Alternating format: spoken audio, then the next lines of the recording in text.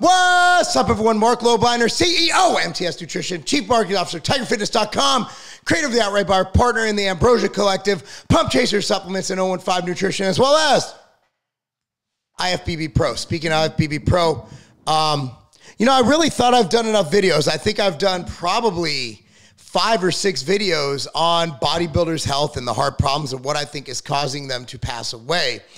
But as I go through my YouTube comments and as I go through all them, I have a lot of people asking, what are your thoughts on what's going on? Bodybuilders dying. What do you think's causing it? And also, Seth Feroce did a rant um, in his car about bodybuilders and the health problems and the risks they take.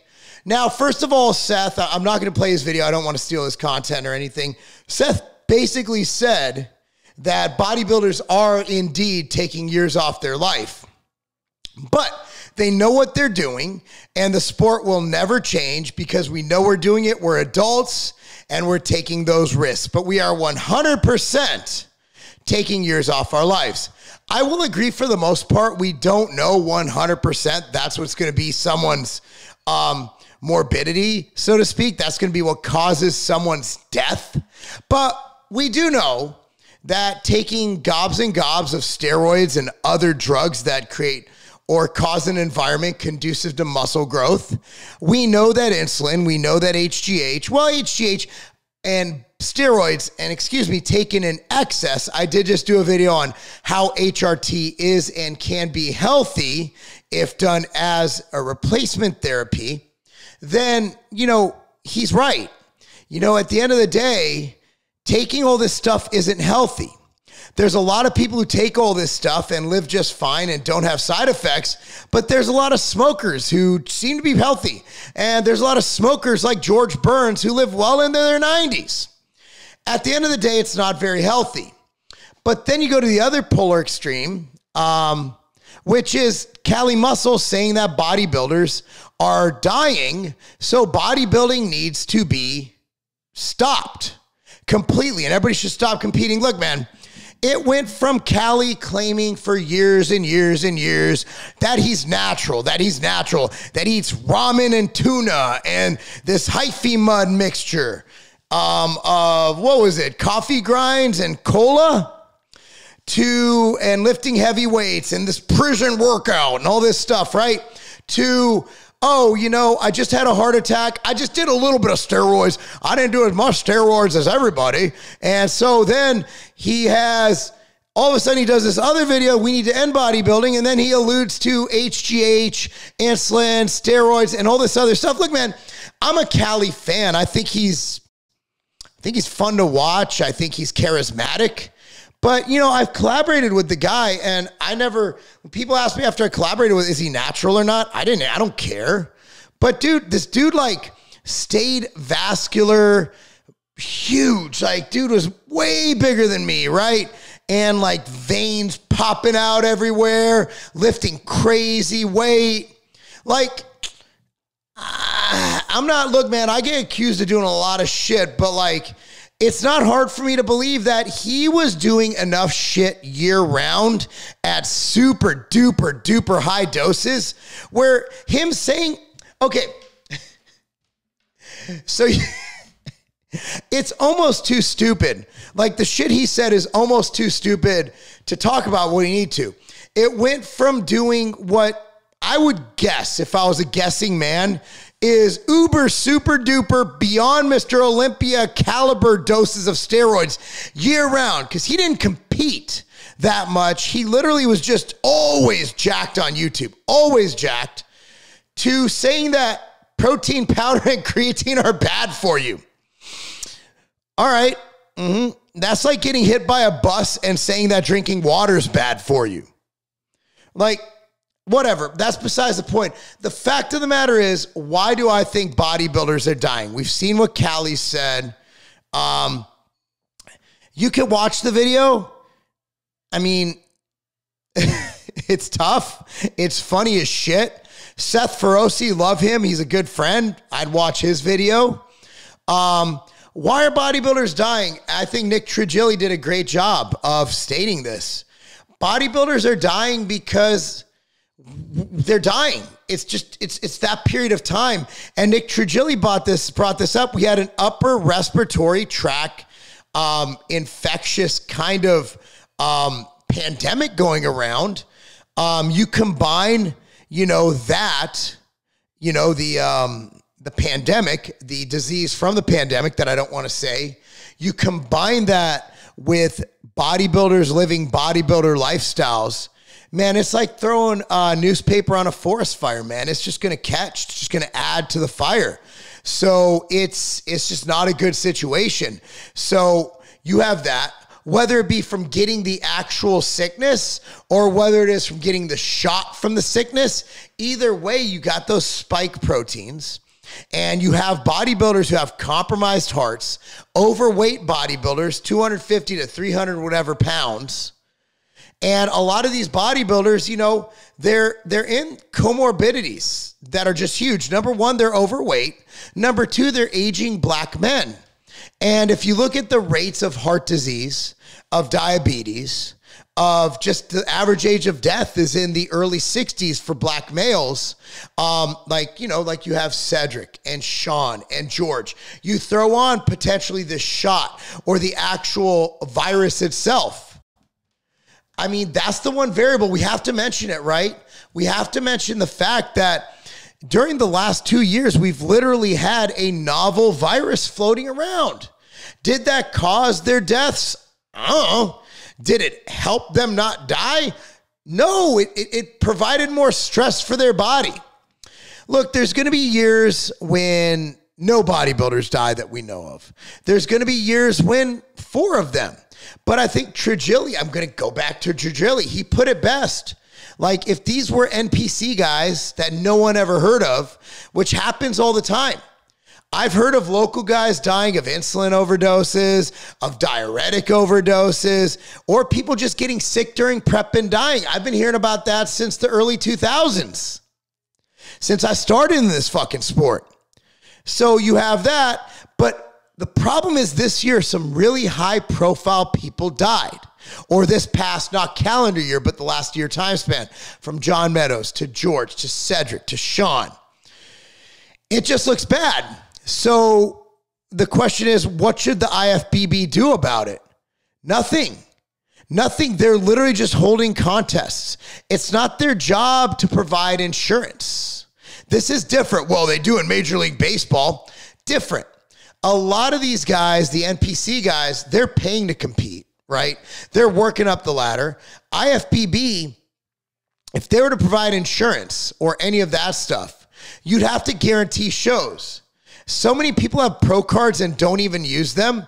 You're telling me that the IFBB shouldn't provide some kind of insurance for me when I compete once every three years or never use my pro card? Come on, that's ridiculous. At the end of the day, it's like joining a race. It's like signing up for your local 5K. Now, when you're a pro, it's different. When you're a pro, you email them, they send you a contract, and you do the show. When you're an amateur, you go on the website, you sign, you pay, and you're in. There's nothing they should do about it. We're adults. We take our own risk. The IFBB is not forcing people to compete. They're not forcing people to take drugs. I've known multiple people who have turned pro naturally. Okay. So at the end of the day, we're looking at all this stuff. You got Seth Feroce saying a, a, lot of what I think, like bodybuilding is crazy.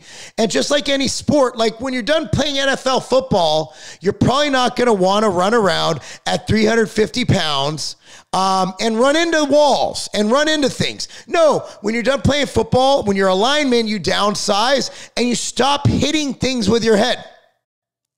That's what you do. So when you're done bodybuilding as a sport or a profession, you simply stop doing bodybuilding shit. That doesn't mean you can't go to the gym and train. That doesn't mean you can't do cardio. That doesn't mean you can't eat chicken and rice. That means you probably shouldn't do a gram of fucking gear a day. That means you should probably cut down a TRT dose. Look, there's risk inherent in everything in life. I do not think bodybuilding should change at all. Same reason the X Games has motherfuckers doing fucking flips and shit in the air on skateboards, going downhill on a skateboard at an angle like this, is because it's an extreme sport. Bodybuilding is an extreme sport. If you don't like bodybuilding, the extreme sport, go compete in natural bodybuilding. You got the OCB, the NGA, the, I, the ANBF. You got all these great natural organizations that would love to have you on their stage and would love to take your money. Oh, I don't want to support these guys. Again, you're watching them. Nick Walker weighs about 700 pounds of lean mass right now. He's getting more followers by the day. His following is growing like this. Big Ramy, his name is literally big. They've literally nicknamed him Big. He's so big. Nobody calls me Big Mark. They call me Coach Mark. No one calls me Big Mark. You know why? Because I'm not big. Big Ramy is fucking big. Guess who's winning the Olympia? Guess who has a huge following on social media? Big Ramy. then you got your anomalies. You know, you got your Bumsteads. He's the biggest personality of all, but that's the thing. Bumstead's a personality. His body is a byproduct. It's just a side, it's just a, it's just fries. Like his personality is the burger. His body is just the fries. Like people are ordering the burger, but they're getting the fries with it. The fact that he looks amazing, the, the, the reason he makes money is because he's amazing. He's charismatic. So I'm not going to go and diss Kali and say that, look, man, at the end of the day, this is who they are. Like, would any of us know who Kali Muscle is without him being a bodybuilder? Maybe. He's a charismatic, fucking amazingly entertaining guy. Like, most of his videos lately are been him buying cars. And somehow he makes that fucking interesting, right? Like, but at the end of the day, we know who he is and we're talking about him because he was 250 or whatever pounds shredded with fucking vascularity that makes my vascularity, which is kind of my calling card, look like I'm flat as fuck. Okay. Seth Feroce is where he's at with his opportunities because he's fucking huge and awesome looking. Big Ramy's Big Ramy because he's fucking big. Nick Walker, what the fuck's even going on there? Like, what what fucking planet did this guy come from? Right? Bodybuilding ain't going anywhere. And anybody who says bodybuilding should stop, look, man, maybe Kali's just mad because he did all those drugs and he never got a pro card.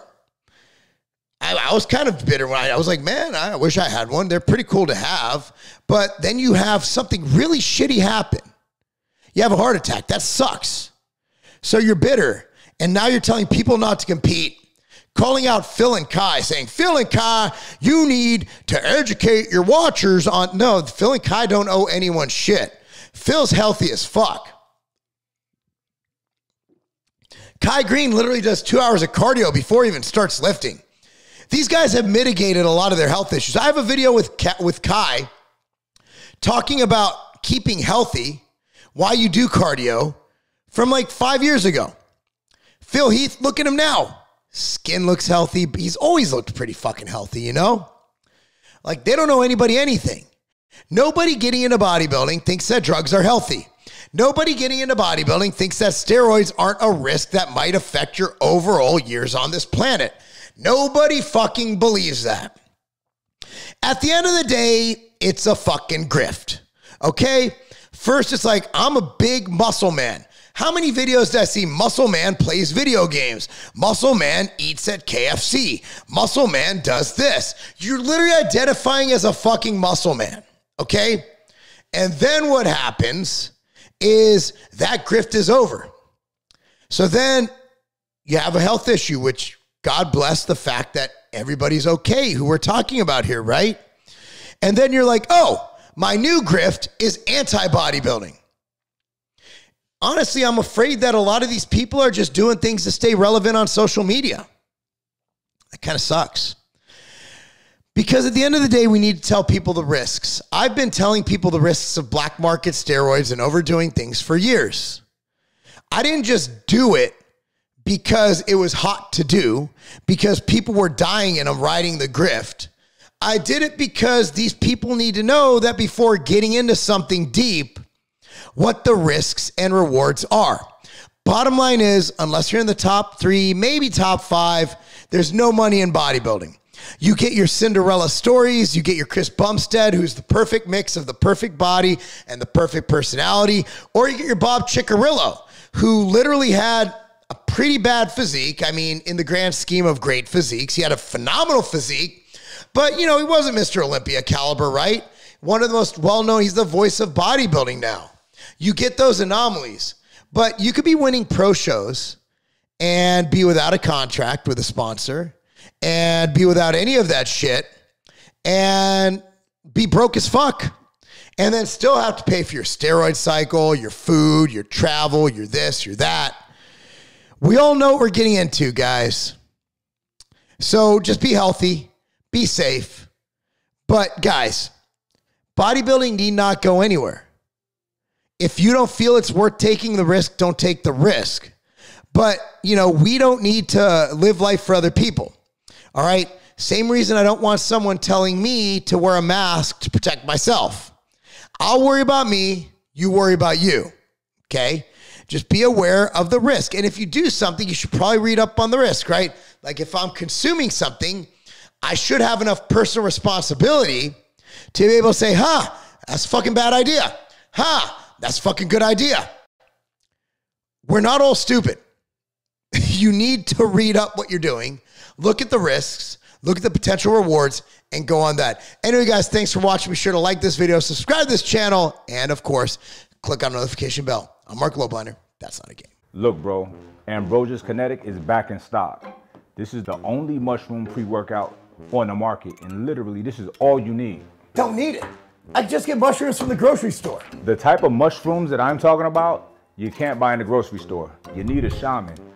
Now, but seriously though, reishi, cordyceps, lion's mane, they do so many things. Antioxidants, not to mention the raw power that you're gonna get from the creatine. You're not gonna get this with that. I don't eat creatine. I just eat steak. So you'll need a few pounds of steak for the amount of creatine that we put in here. It's all right, bro. I like steak. Listen, man, the type of focus that you get from the ginseng, the neurofactor, the coffee bean, you're not getting that without kinetic. I get all the energy I need from coffee. That's not enough caffeine. You're not going to get the same energy. For energy, I get white powder right here. You've lost your mind, but I still love you. Let's go train. I don't care what you're saying. We're taking kinetic. This is all we need. Let's get out of here.